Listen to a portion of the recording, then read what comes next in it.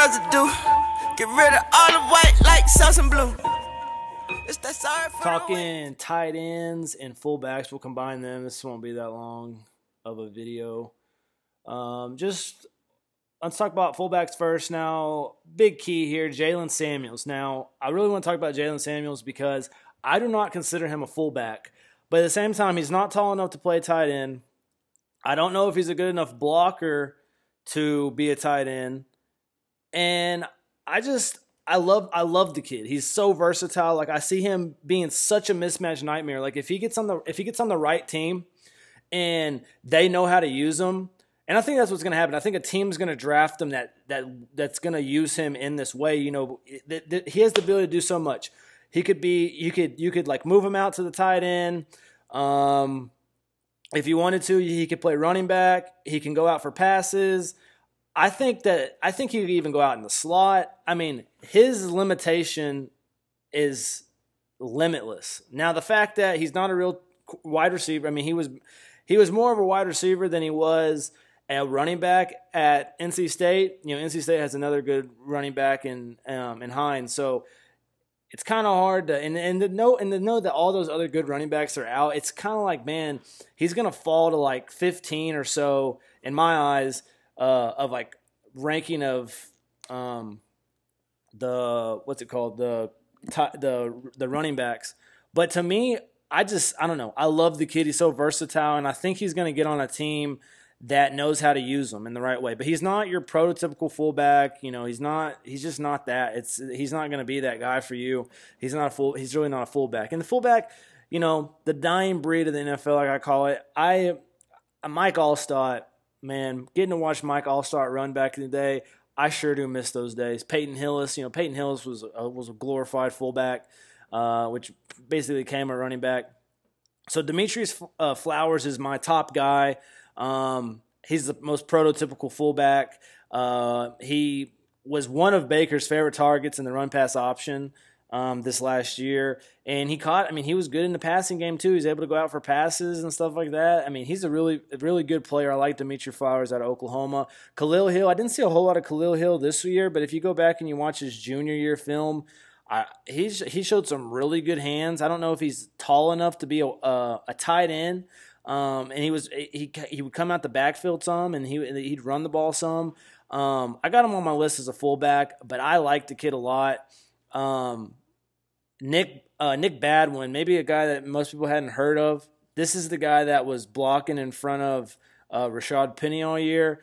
Uh, this guy, I think, was a quarterback or maybe a running back or something like that when he was in high school, and he put on so much weight to become a to come, become a fullback. And my thing is with with fullbacks is if if you if your running back's pretty good, like somebody's clearing those holes for him. If if it's an I formation type thing, and Nick Badwin was that guy.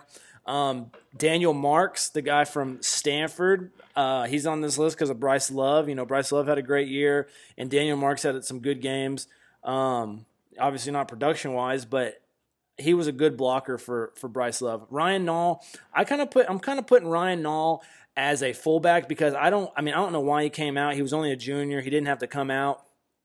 And I'm going to put him as a fullback because I think his best option is to put on weight and, and because when you talk about Ryan Nall, to me he's like a back, maybe maybe top 50, maybe maybe top 40 running back. Like he wouldn't even really been on my my running backs list if I would have put him on my running backs list. So I said, well, I'll probably go ahead and put him on my my fullbacks list. And he's a guy that could turn into a Peyton Hillis. I can see that happening. I can see him being a Peyton Hillis type. Um, Garrett Dickerson, um, I put him as a fullback, maybe a tight end, but he's so versatile. He uh, they have a special back at Northwestern, and so he'll line up at fullback, tight end. Um, it's hard to grade because you can't really see how he's going to translate. So this guy may, you know, when combine comes around, he may, you know, they may start looking at him as a tight end. Um, but I have him as a fullback, and I think he's a he's a pretty versatile guy. Um, Nick Sharga is a guy from Temple, pretty good blocker. I like him. And then Austin uh, Ramesh, I added him to the list. You know, Wisconsin always is, has has good blockers, and um, their offensive line is awesome. You know, tight ends are usually pretty good, and and uh, Jonathan Taylor had a really good year, so he kind of got on this list kind of like because of uh, Marx and and, and Badwin. Uh, J.D. Moore, a guy from LSU, pretty good. And then Marcus Martin, a guy I really don't know a whole lot of, but I've seen him on um, a couple of different draft lists. And I haven't really been able to find any film on him either. So he's kind of just my 11th guy. I really don't know. I just have seen him. So he went to Slippery Rock. I, I mean, I don't really know how you're gonna how how I'm gonna find any film on him. But so let's talk about tight ends. You know, fullbacks really aren't that big of a deal. You know, there's a couple of good ones. That, I mean, they're the dying breed of the NFL. It's it's a whatever. Um, tight ends. This is a position that I really like. Um, security blanket for the quarterback is is what I call it. Um, and you talk at the top. I got Mark Andrews. You know, I was trying to base. You know, my top six guys I really really like. The top six tight ends. It was really hard for me. And even these top six guys, you might wow, do you why do you have him at five or why like he could be higher? I mean, that's the thing. Like, it's just so hard. And I just that's what I say. Want to say first off, the top six guys that I talk about are absolute studs. I think they're all going to be great tight ends at the next level. Mark Andrews is the first guy I'm going to talk about. He's my number one guy because I he showed me the best balance of blocking with the ability uh, to catch the ball. Now he did line up in the slot a lot of the time, so um, you can say, well, you know, how how about the, how the blocking or whatever. I think Mark Andrews is, is by far the best bet to get uh safest bet too at at the tight end. I like him a lot. Uh, Mike Gesicki this is a guy that played volleyball. He looks like a volleyball player. He reminds me of a kind of not, I'm not going to say Jimmy Graham because Jimmy Graham has been an awesome player and, and you shouldn't compare a guy to like Jimmy Graham.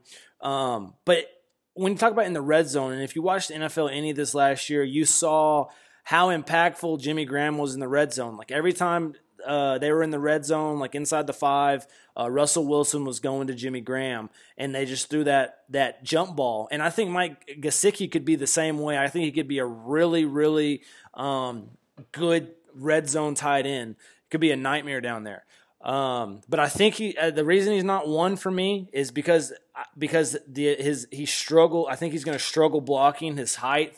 Um, you know, blocking some of those smaller defensive defensive ends or whatever and that's the reason I think he might fall a little bit. But I got him at two. Uh, Dallas Goedert, this is one of my favorites. A FCS guy. I love the FCS players. They're just diamonds in the rough. And this is a guy that's been talked about for a while. He had a way better junior year than he had senior year.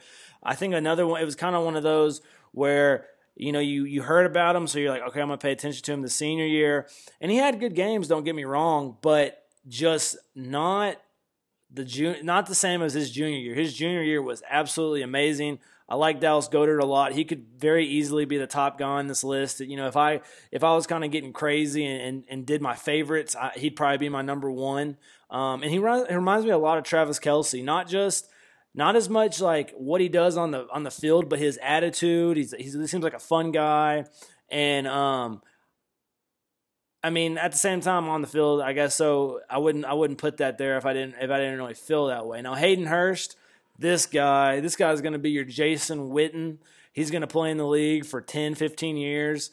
He's just a blue collar guy. He's not one of those guys that really just jumps out at you. But he had a solid year, um, and he could he could very well be better than those top three guys that I mentioned before him. I love Hayden Hurst. I really like. I I think Hayden Hurst can be is going to be another one of those top guys. Troy uh, Fuma, uh, Fumagalli, um, really talented pass catcher, and he went to Wisconsin, so he has to be a pretty good blocker. Um, they teach him how to block over there. Um, so I like I like uh, Troy uh, Fumagalli. He's um, and he's a guy that just at the first year, he probably would have been like three, you know, behind Gesicki and Andrews. And he's just kind of not, I mean, he's dealt with injuries and, and not, he's not fallen because he's done anything bad. I just, I've kind of started to like the Hayden Hurst over the year. You know, Hayden Hurst is a guy I didn't know anything about going into this year. And um, he really impressed me this year. Adam Breneman, um, this kid is a diamond. I like this kid a lot. He, he went to, he's at UMass. So, you know, he doesn't get a lot of, you know airtime or whatever. But this is this is a, a real good kid. I like Adam Breneman from UMass. Jordan Akins, kind of undersized, super super athletic. Um, I don't know if he can block at the next level, but as an an athletic and, and pass catcher, I like Jordan Akins a lot out of Central Florida. Um, Dalton Schultz. You know, Dalton Schultz or Stanford tight ends are just really smart. They they have the ability to understand how to block at the next level, and they're just a safe bet. So, I, and he came out at his, after his uh, junior year, so he's number eight on my list. Cam uh, Syringy, I think is his name. Is I can't really pronounce his last name. He played at Wake Forest. This is a guy that he just kept showing up on film for me. Like every time that I'd be watching a Wake Forest game, he'd make a big play or he'd he'd be doing something. I think he's going to be a great red zone target. Um, Chris Herndon from Miami kind of overshadowed at Miami because um, they have some other good, really player, really good players on their team. But this guy's really big.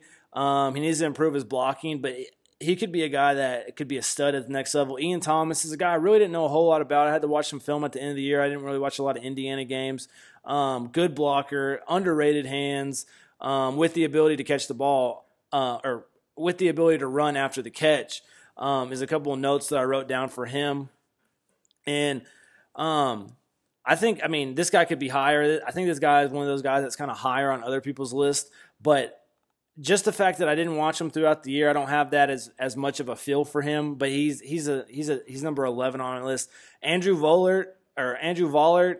Uh, this kid impressed me late. You know, he played at he plays at Weber State had this sick one-handed one-handed catch and I don't I don't like to, you know, get kind of crazy about kids after one-handed catches and stuff like that, but something about him and then but the thing is is he just he's kind of small. He's really he's really small. It seems like he hadn't been in the weight room for about 4 years and I don't know if he can block at the next level. So I can see why this kid's really not that high on list, but but he's a guy I like.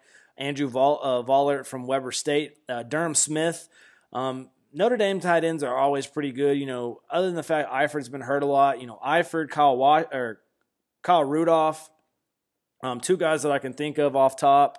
Uh, there's a kid named Troy Niklas. He didn't really make an impact yet, but he was good.